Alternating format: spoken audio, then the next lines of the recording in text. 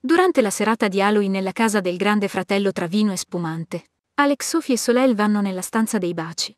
Iniziano a ridere e scherzare finché Alex inizia a voler provare il bacio cinematografico con Sophie. I due iniziano a baciarsi e Sophie subito si stacca dicendo Alex ha messo la lingua. Alex nega e dice ora proviamo con Soleil. I due si baciano. Poi è il turno di Sophie e Soleil che si danno un bacio vero altro che cinematografico. I tre ragazzi, come accadeva ad alcuni alle feste giocando a obbligo o verità, utilizzano la scusante del bacio cinematografico per baciarsi e dare sfogo alle loro sensazioni del momento. Anche perché il bacio cinematografico si fa sul set mentre si recita e non in privato. La moglie di Alex, a questo punto, visto che Alex si è divertito a baciare due donne, dovrebbe intervenire da donna e cercare un confronto e chiedere rispetto perché Alex non sta rispettando il suo matrimonio.